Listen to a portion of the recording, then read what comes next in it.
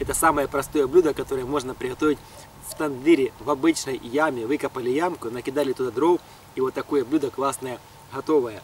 Привет, друзья! Привет, мои дорогие подписчики! Сегодня я готовлю бараний окорок в тандыре.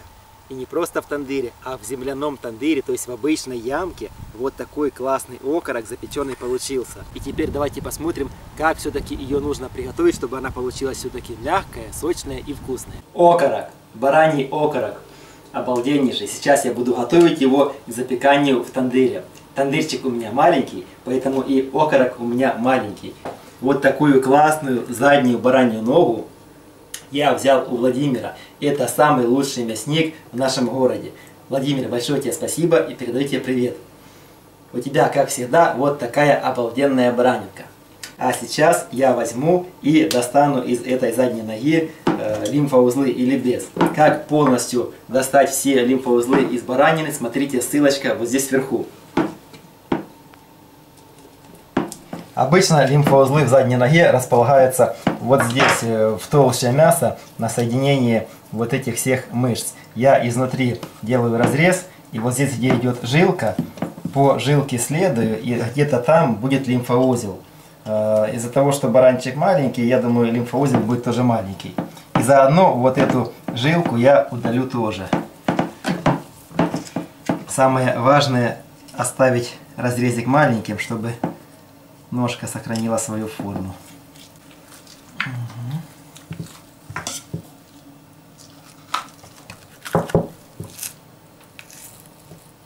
Вот здесь кусочек жирка, и к нему прикрепляется жилка. И вот я ее так поддеваю и ищу, где она заканчивается. А уж где-то там за жилкой прячется и без. Вот на этой жилке был вот этот кусочек жира. И пока я его искал вот там долго-долго, оказалось, что весь лимфоузел, вот он здесь, в этом жирке и есть. Поэтому дальше можно не искать, мы его убираем. Лимфоузлы я удалил. И теперь все полностью как есть на ножке, так я оставляю пленочки, жирок, все-все-все. Рецепт будет очень простой, но в то же время очень обалденный. Это будет баранья нога, шпигованная чесночком и вот таким классным свежим розмарином и пряности. Сейчас я беру чесночок, немножко измельчаю, чтобы были хорошие такие кусочки для шпиговки. И нашпиговываю полностью всю ножку.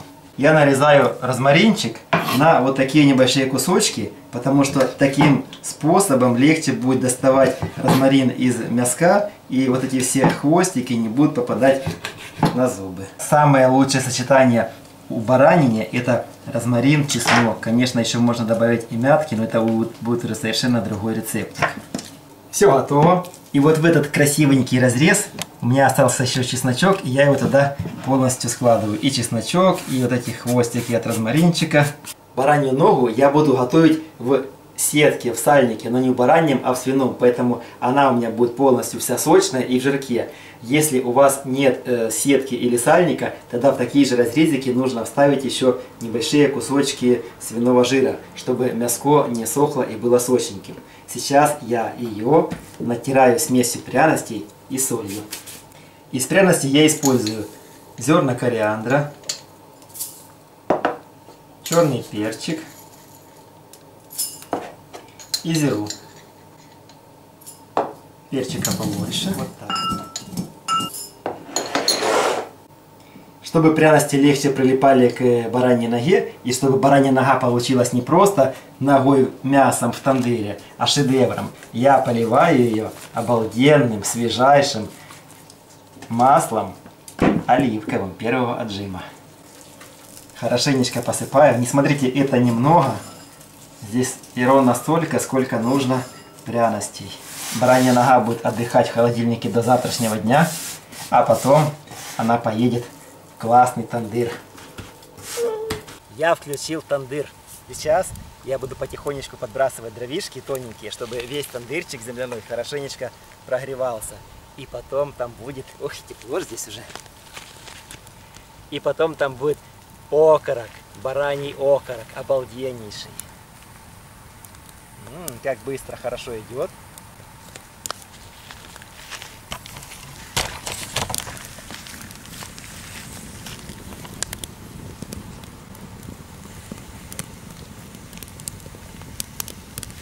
А это вентиляционное отверстие.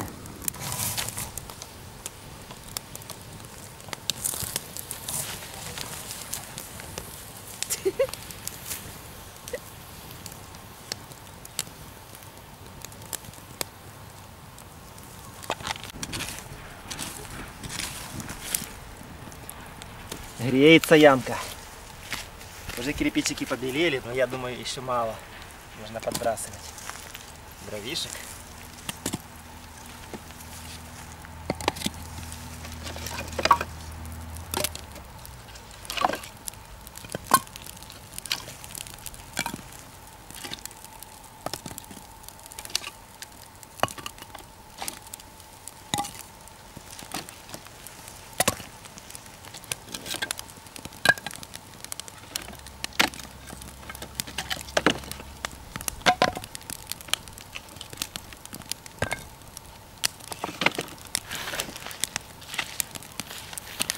А теперь смотрите,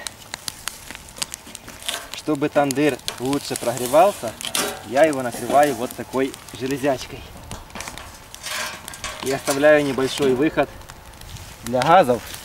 Вот здесь воздух входит для того, чтобы горение активно работало.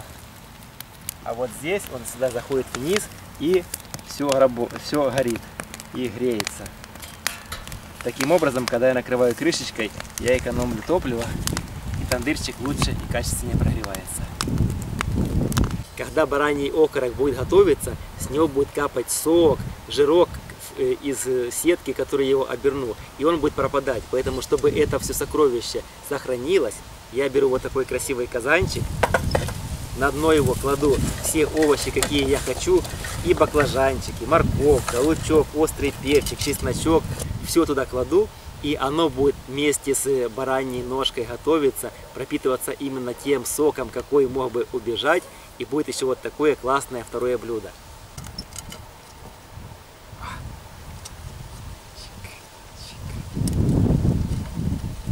А теперь баранья нога. Заматываю ножку в свиную сетку. Вот такая лялечка классная получилась.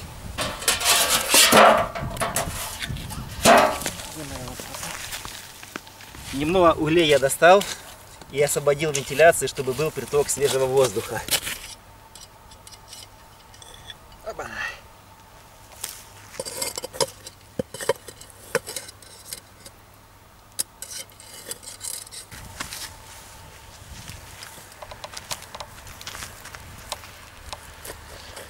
Ой, вот так. Теперь это накрываю все листом, на котором сейчас лежат угольки, и сверху накрываю мешками.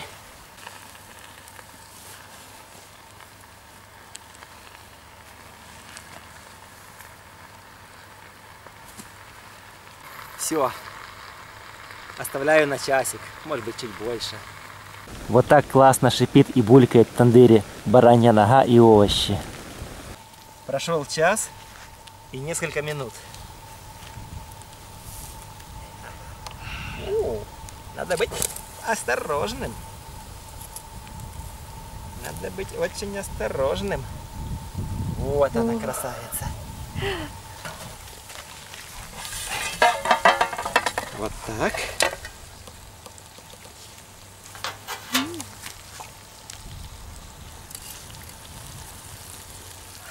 Вот. И здесь что-то осталось. Все угольки полностью растворились. Даже не нужно чистить тандырчик. Спасибо тебе, тандыр. К этому блюду лучше всего, конечно же, подходит красное сухое вино.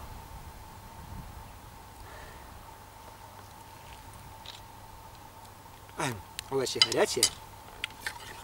Надеюсь, ножка не такая горячая.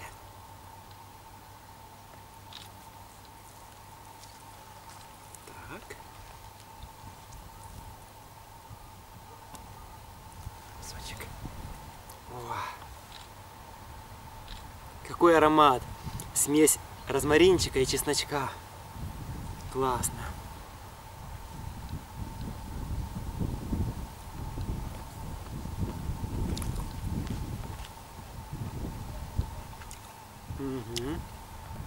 Мяско мягенькое, но, конечно, если было бы время, можно еще минут 20 подержать в тандырчике. Но все равно очень мягкое. А моя самая любимая часть, это, конечно же, голяшка. М-м. Голяшка, конечно, класс приготовилась.